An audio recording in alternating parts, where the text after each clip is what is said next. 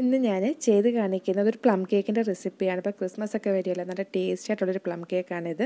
നേരത്തെ ഞാൻ കുറേ വീഡിയോസ് ഇട്ടിട്ടുണ്ടായിരുന്നു. ഇതെല്ലാം വ്യത്യാസങ്ങളുണ്ട് കേട്ടോ ഓരോന്നിലും. അപ്പോൾ ഇതിന് വേണ്ടിയിട്ട് ഒന്നര കപ്പ് മൈദയും ഒന്നര ടീസ്പൂണ് ബേക്കിംഗ് പൗഡറും കാൽ ടീസ്പൂണ് ബേക്കിംഗ് സോഡയാണ് എടുക്കുന്നത്. എന്നിട്ട് നമുക്കൊന്ന് അരിച്ചെടുക്കാം. ഒന്നുകിൽ ഒരു തവണ അരിച്ചെടുക്കും അല്ലെങ്കിൽ ഹാൻഡ് വിസ്ക് കൊണ്ടെങ്കിൽ ഇതേ മിക്സ് ചെയ്താൽ ഇങ്ങനെ ചെയ്യുവാണെങ്കിൽ ഒരു തവണ അരിച്ചെടുത്താൽ മതി കേട്ടോ. പിന്നെ ഞാൻ നേരത്തെ ഇട്ട വീഡിയോ എന്ന് വെച്ചാൽ ബട്ടർ മാത്രം ഉപയോഗിച്ചുള്ളതായിരുന്നു ചെയ്തിരുന്നത്. ഇതിൽ ബട്ടറും ഓയിലും കൂടെ ചേർത്തിട്ടുള്ള വീഡിയോ ആട്ടോ ഈ കാണിക്കുന്നത്. അപ്പോൾ നിങ്ങൾക്ക് ഏതാ എളുപ്പം എന്ന് വെച്ചാൽ നിങ്ങൾക്ക് കയ്യിൽ എന്താ ഉള്ളത് വെച്ചാൽ അതനുസരിച്ച് നിങ്ങൾക്ക് ചെയ്യാം. അപ്പോൾ ഇതിലേക്ക് ഞാൻ നൂറ് ഗ്രാം ബട്ടറാണ് എടുക്കുന്നത്. എന്നിട്ട് നമുക്കൊന്ന് ബീറ്റ് ചെയ്യാം.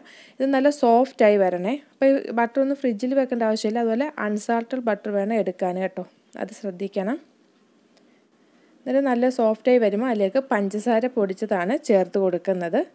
ഞാൻ ഇതിനകത്തോട്ട് ഒരു ഒന്നേകാൽ കപ്പ് ഒരു ഒന്നേകാലില്ല മൊത്തത്തിൽ ഒന്നര കപ്പ് നമുക്ക് വേണം. അപ്പോൾ ക്യാരമലും കൂടെ ചേർക്കുന്നുണ്ടല്ലോ. അപ്പോൾ അതനുസരിച്ച് വേണം ചേർത്ത് കൊടുക്കാൻ എന്നിട്ട് അതിലൂടെ ബീറ്റ് നല്ല ക്രീമി ആയിട്ട് വരണം. അന്നേരം അതിലേക്ക് മുട്ട മൂന്ന് മുട്ടയാണ് എടുക്കുന്നത്. ഓരോ മുട്ടയായിട്ട് ചേർത്തിട്ട് നമുക്കൊന്ന് ബീറ്റ് ചെയ്തെടുക്കാം. ഇതിലേക്ക് ഞാനിപ്പോൾ പഞ്ചസാര മൊത്തത്തിൽ ഒരു കപ്പ് ചേർത്തിട്ടുണ്ട്. കാരണം ഇതിനകത്ത് ഞാൻ ഹണിയൊക്കെ ആഡ് ചെയ്യുന്നുണ്ട്. എന്നിട്ട് നമ്മൾ ആദ്യമേ ഒരു മുട്ട ഇട്ട് കൊടുത്തു. അപ്പോൾ നമ്മൾ ഈ മുട്ടയും കൂടെ ഒക്കെ ചേർക്കുമ്പോൾ ചില സമയത്ത് പിരിഞ്ഞതായിട്ട് നമുക്ക് തോന്നും. അന്നേരം എടുത്ത് കളയൊന്നും ചെയ്യില്ല കേട്ടോ. കുഴപ്പമൊന്നും വരത്തില്ല കേക്കിൽ ജസ്റ്റ് ഒന്ന് ബീറ്റ് ചെയ്യുക. വീണ്ടും അടുത്ത മുട്ട ചേർത്ത് കൊടുക്കുക.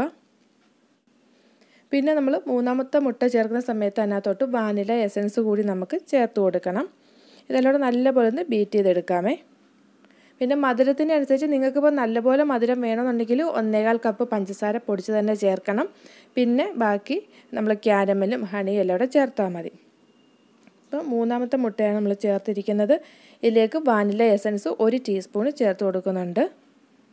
നമ്മൾ ഇതിനകത്ത് നമ്മൾ മൂന്ന് എസൻസുകൾ ചേർക്കുന്നുണ്ട്. ഇപ്പോൾ വാനില എസൻസ് ചേർത്ത് കൊടുക്കുകയാണ് എന്നിട്ട് നമുക്ക് നല്ലതായിട്ട് ഇതൊന്ന് ബീറ്റ് ചെയ്തെടുത്തുകൊണ്ട് വരാം. ഇതിലേക്ക് ഇനി ഞാൻ കാൽ കപ്പ് ഓയിലാണ് ചേർത്ത് കൊടുക്കുന്നത്. നിങ്ങൾക്ക് ബട്ടർ മാത്രം മതി എന്നുണ്ടെങ്കിൽ നൂറ്റി അൻപത് ഗ്രാം ബട്ടർ എടുക്കാം. നൂറ്റി അൻപത് തൊട്ട് നൂറ്റി എൺപത് ഗ്രാം വരെ എടുക്കാം കേട്ടോ.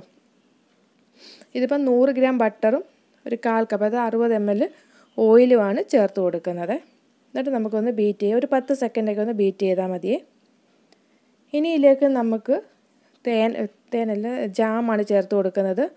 ജാം ഒരു ടേബിൾ സ്പൂൺ ചേർത്ത് കൊടുക്കുന്നുണ്ട്. മിക്സഡ് ഫ്രൂട്ട് ജാം ആട്ടോ ചേർത്ത് കൊടുക്കുന്നത്. നിങ്ങളുടെ ഏത് ജാം ഉണ്ടെങ്കിലും ചേർത്ത് കൊടുക്കാം. എന്നിട്ട് അത് ചേർത്തിട്ട് ജസ്റ്റ് ഒന്ന് വീണ്ടും ഒന്ന് ബീറ്റ് ചെയ്ത് കൊടുക്കുവാണേ. ഈ സമയത്ത് വേണമെങ്കിൽ തേൻ ചേർത്തുമ്പോൾ കുഴപ്പമൊന്നുമില്ല കേട്ടോ. ഞാനിപ്പോൾ തേനൊക്കെ ലാസ്റ്റിലാണ് ചേർത്തിരിക്കുന്നത്. ഇനി ഇതിലേക്ക് ഞാൻ ക്യാരമൽ ഞാൻ ചെയ്ത് വെച്ചിരിക്കുകയാണ് കേട്ടോ. അതിൽ നിന്നൊരു നാല് ടേബിൾ സ്പൂൺ ഇതിലേക്ക് ചേർക്കുന്നുണ്ട്. നിങ്ങൾക്കിപ്പോൾ കളർ കുറവായിട്ട് തോന്നെങ്കിൽ ഒരു ടേബിൾ സ്പൂണും കൂടെയൊക്കെ എക്സ്ട്രാ ചേർത്ത് കൊടുക്കാം കേട്ടോ. എന്നിട്ട് വീണ്ടും ഒന്ന് ബീറ്റ് ചെയ്ത് കൊടുക്കുവാണേ.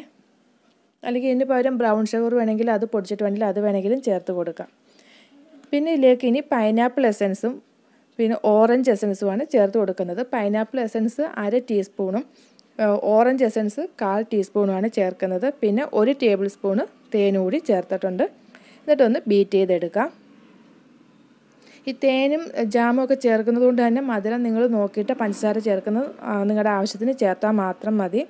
പിന്നെ ഇതിലേക്ക് ഒരു അര ടേബിൾ സ്പൂണ് ജിഞ്ചർ പീലും ചേർക്കുന്നുണ്ട്. അതുപോലെ ഓറഞ്ച് സെസ്റ്റും ചേർക്കുന്നുണ്ട് കേട്ടോ.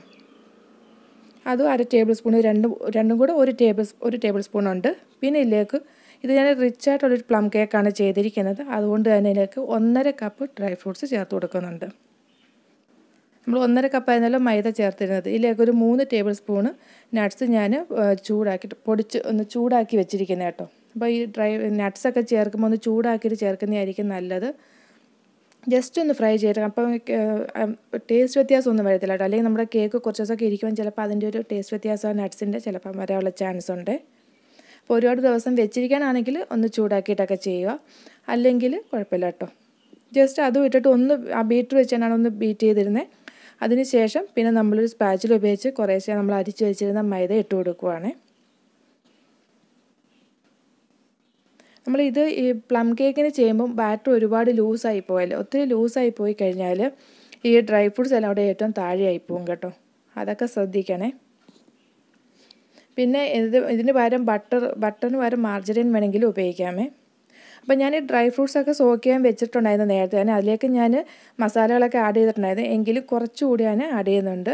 ഒരു കാൽ ടീസ്പൂൺ ഗരം മസാല അത് നമ്മൾ പട്ട ജാതിക്ക ഗ്രാമ്പു ഏലക്കത്തോടെ ചേർത്ത് പൊടിച്ച് വെച്ചിരിക്കുന്നതാണ്. അത് ചേർത്തിട്ടുണ്ട്. പിന്നെ കുറച്ച് ഗ്രാമ്പു പൊടിച്ചത് സെപ്പറേറ്റ് വെച്ചിട്ടുണ്ട്. അതും എക്സ്ട്രാ ഇല്ലാത്തോട്ട് ആഡ് ചെയ്യുന്നുണ്ട്.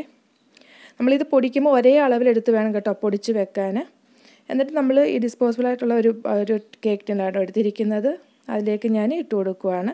എന്നിട്ട് ഓവനകത്താണ് അത് വെച്ച് കൊടുക്കുന്നത്. നൂറ്റി എൺപത് ഡിഗ്രിയിൽ പ്രീ ഹീറ്റ് ചെയ്ത ഓവനകത്ത് നൂറ്റി അറുപത് ഡിഗ്രിയിൽ ഒരു മണിക്കൂർ എടുക്കുന്നുണ്ട് കേട്ടോ. അത് റെഡിയായി കിട്ടാൻ വേണ്ടിയിട്ട്. പിന്നെ ഇതെടുക്കുന്ന ഒരു വീഡിയോ സ്കിപ്പായി പോയിട്ടുണ്ട് കേട്ടോ. പിന്നെ ഞാൻ കട്ട് ചെയ്ത പീസുകൾ അതിന്റെ ഒരു ഫോട്ടോയാണ് കിട്ടിയിരിക്കുന്നത്. അപ്പോൾ ഇത് ജസ്റ്റ് ഒന്ന് ടാപ്പ് ചെയ്ത് കൊടുക്കുകയാണ് എന്നിട്ട് മേലിൽ നമുക്കൊന്ന് ഡെക്കറേഷൻ വേണ്ടി കുറച്ച് ക്യാഷ് കൂടി വെച്ച് കൊടുക്കുന്നുണ്ട്. ചെറി വേണമെങ്കിൽ പിന്നെ ബ്ലാക്ക് റൈസൻസ് ഒക്കെ ഉണ്ടല്ലോ അത് വേണമെങ്കിൽ വെച്ച് കൊടുക്കാം.